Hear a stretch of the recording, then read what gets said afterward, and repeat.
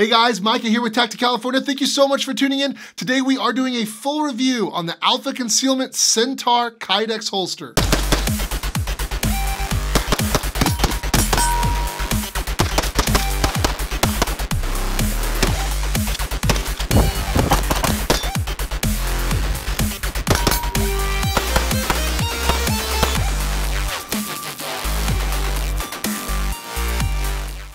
One of the number one questions I get asked all the time is what holster do you use and why? Now I've used several different holsters. In fact, I've done videos on, you know, product spotlights on certain holsters and I've done what holster is the best holster overall. I've really made an attempt to broaden my horizon and try a ton of holsters out there for you guys, spending hundreds and hundreds of dollars, at this point probably well over a thousand dollars in Kydex. So I have a pretty good understanding of what's available on the market, what works well, at least for me, people my size maybe. Uh, everyone is different of course, but the Alpha Concealment Centaur is the holster I've landed on for my personal use. It's also the holster I recommend for anybody who wants to try to carry appendix. Whether big or small, this holster is gonna be definitely favorable for a number of reasons. There are three main things we're gonna look at in this holster review. One, concealability. How easy is it to conceal the firearm? Two, comfort. I wanna make sure that it's not digging into me. I wanna make sure that it's a very comfortable holster. And three, safety. We need to make absolutely sure there's no way that trigger can be pulled uh, while it's in the holster. So we need good uh, coverage over the trigger. All right, number one, the reason this thing is so comfortable and why I choose to wear it so much is definitely because it has less material than any other Kydex holster that has a Mad Caddy design that I've personally seen on the market. Now I've done a lot of Mad Caddy holsters, T-Rex Arms, M3 Tactical Kydex, the list goes on and on. So many companies make these holsters. But what makes these ones really unique is the how little material they use. So this guy right here is for the CZ P-01. Real quick, I gotta brag on Alpha Concealment's customer service. They did not offer this gun with the XC1 in their Centaur rig. They didn't have the CZ P-01. I emailed tons of different companies, reaching out to them, seeing if they would make a CZ P-01 with the XC1 Mad Caddy design. Now, none of these companies had this available on their website. When I reached out to Alpha Concealment, I was really surprised. Not only did they say, sure, but literally within hours of responding to my email, it was an option on their website, and then I could now get that for my gun. That is amazing customer service. Many other companies don't even respond to your custom requests, let alone put it available on the website for everyone to order. So really, really cool. I dig that. Now that we can get off that, let's get back to why this thing's so comfortable. Many of the competition's sidecar style or Mad Caddy style holsters have rivets on both sides, essentially a pancake style holster. You've got rivets and screws on this side, and you've got rivets and screws on this side. That there's extra material here on normal holsters that are like that. And what they've done, which is truly genius, is instead of using two pieces of Kydex pancake style, they've used one piece of Kydex and folded it over. So it folds right at the magazine holder and it really, really gets the profile of this down considerably. This means that they've shortened the overall holster by at least an inch, if not two, based on which competition you're, you're going up against, just by getting rid of that. That was incredibly genius, and this can't be easy. Uh, this is definitely a true piece of art. Being able to fold that and still get a nice fit uh, on the gun and on the magazine, very difficult to do. You don't see reheating marks on these holsters at all. They do this really, really well. Another thing about comfort is how far down the holster goes. A lot of these Mad Caddy styles, for whatever reason, they really come out this way before they come up and you can see that they they just initially they start going up immediately. There's no reason to go straight there, and that corner is really what digs in, at least to me, uh, into my inner thigh. If I'm carrying right at 12 o'clock, really digs into me, and I don't like that. So again, the fact that they got rid of that corner, super smart definitely helps uh, just totally make this thing as comfortable as possible. Number two, concealability.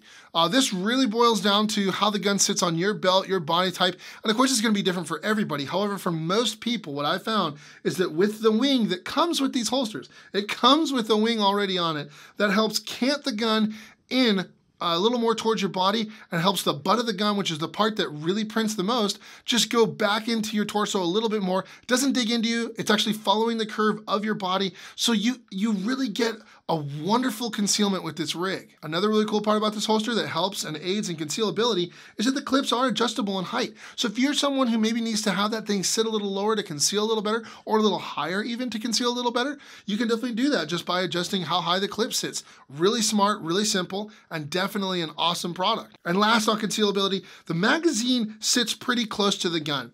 A lot of companies have this magazine way out here, and I, I, that might be for like gross motor skills or something. You know, they're trying to get you, you have a free hand down here to get to that spare mag.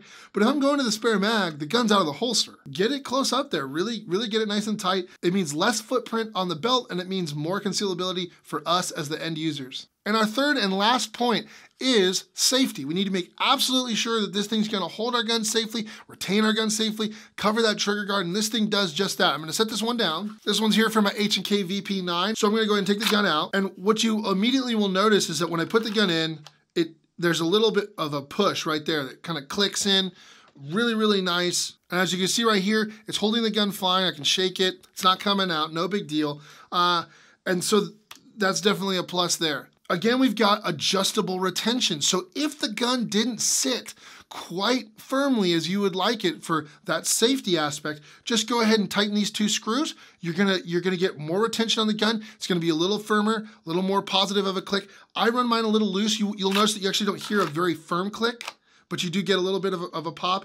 Uh, that's because when I have this sitting in my belt, my belt is pushing up against the holster and it makes it a little firmer. So if I'm just applying a little bit of pressure on the outside, I really can't get that gun out. And that's what my belt is essentially doing. So again, adjustable retention, excellent. That way we can get the retention we need in the dynamic environments we may find ourselves in where we're moving, running, jumping. Maybe we find ourselves on our back or upside down because there was an explosion or someone pushed you. Whatever the case is, the gun has to stay in the holster until it's time to get it out. So really good that it has adjustable retention. And again, very low profile for adjustable retention. Definitely well done.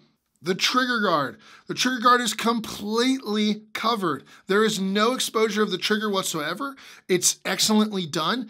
Um, some holsters, I believe it or not, even Mad Caddy holsters, I do have one. I won't say their name, I'm trying to, to knock on them, but part of the trigger guard's actually exposed. Now, it's behind the trigger. What's the likelihood it's gonna pull the trigger? Probably none but I don't like seeing trigger guard. I don't want to see it. I want to see complete coverage of the trigger guard so nothing can get in there and accidentally pull that trigger and cause a negligent discharge that's really unsafe. And the last point on safety that I think is overlooked by a lot of people who are shopping for Kydex holsters is the clips. I used to be a fan of the inch and a half clips, the big fat ones. That was until uh, I, I had an incident where I was carrying appendix with that, and I had a carry cart, you know, like you get a target, like it was just like a, a little cart you carry around, it's not a push cart. And as I'm going to put that away, it kind of bumped the gun. And when that handbasket hit my gun, it actually popped the clip off the belt. Now the gun didn't come out of my pants, the holster didn't come out of my pants, thank goodness, would have had a very, very awkward, embarrassing moment in the store. But I like two clips now. Every holster I wear, I want two clips. I want redundancy there. And the more spread out they are, the more it's gonna distribute the weight on your belt line, so the less you're actually gonna feel the weight. So two clips, I gotta have it, and these definitely have those. Again, while maintaining a small profile.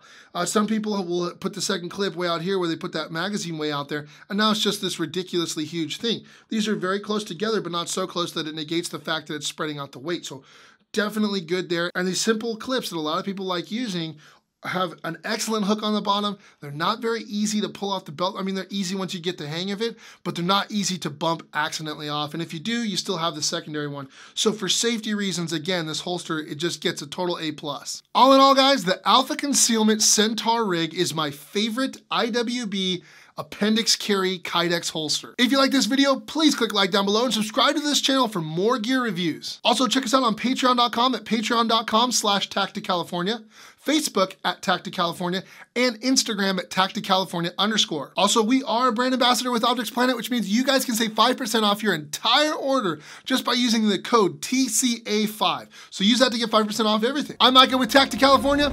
Thanks for watching.